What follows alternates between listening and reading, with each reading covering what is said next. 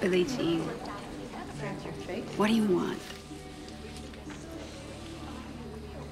What do you mean? With your hair, what do you want to do with it? Oh. um, it, it doesn't matter. You can just get it on my face. You don't care about how you look. Someone as pretty as you. Uh, I'm not pretty. I mean, I don't. I thank you for for saying that. What's your name again? Marilyn. Would anyone else like to share? How about you in the back with the glasses, sir?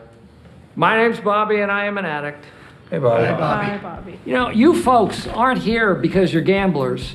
You are here because you are terrible gamblers. Okay, Bobby. These folks don't need to stop doing what they're doing. They just need to get better at it. Who's All right, dealing? Bobby, please. Who's in?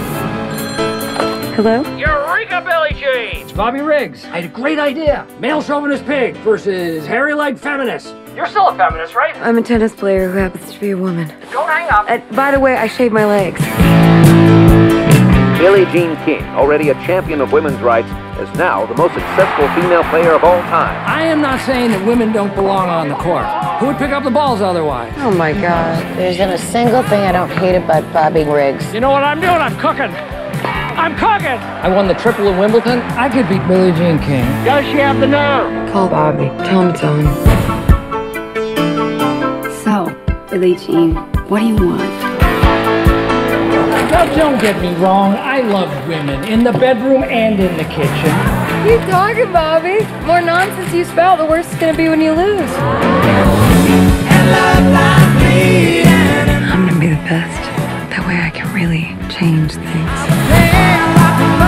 Ladies and gentlemen, I'm gonna put the show back in chauvinism. Bobby's a clown. This whole thing's an act for him. Business, sports, you name it. At the very top, it's the man's world. It's when we want a little bit of what you've got. That's what you can't stand. 40 million people are watching. The battle you've all been waiting to see. I'm done talking. Let's play. The battle of the sexes.